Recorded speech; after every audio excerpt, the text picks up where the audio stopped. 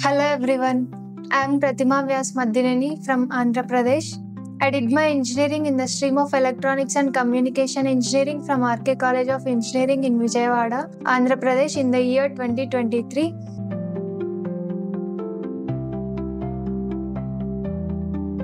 During my time in college, I worked on health monitoring system project which fueled my curiosity and my interest in embedded systems.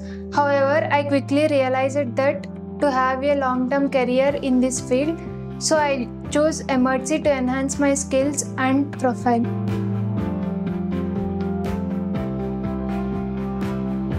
Before joining Emertxe, I had limited knowledge of programming languages like C, C++, and I was not familiar with microcontrollers. But Emertxe's focus on hands-on learning and mentorship from experts was a great game changer for me. The mentors of Emertxe always uh, available to guide me whenever I had doubts. And also, as I learned more subjects in Emertxe, my self-confidence started growing. By looking my commitment during classworks, mentors awarded me with a spot award which reinforced my confidence and pushed me to do more. Further, mentors asked me to work on more projects apart from regular coursework. They also conducted weekly follow-up sessions and Viva, se- uh, Viva sessions, which was like a mini technical interview.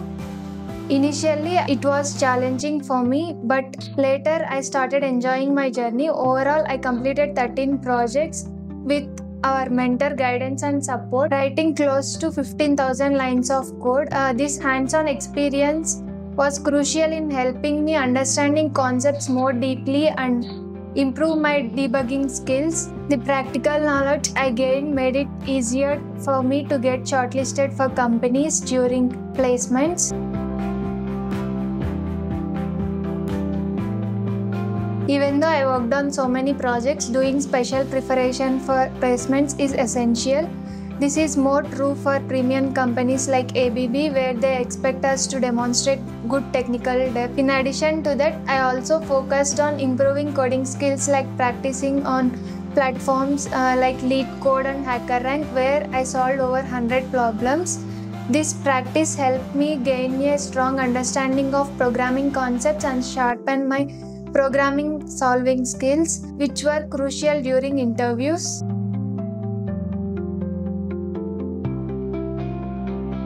Thanks to the experience I gained from the projects and guidance from Emertxe mentors, I was able to solve programming problems easily during my interviews. The selection process in ABB was quite stringent, where they evaluated me from multiple angles technical foundation, uh, programming, problem solving, and embedded systems. Eventually, I was able to crack it with all the work I have put in Emertxe.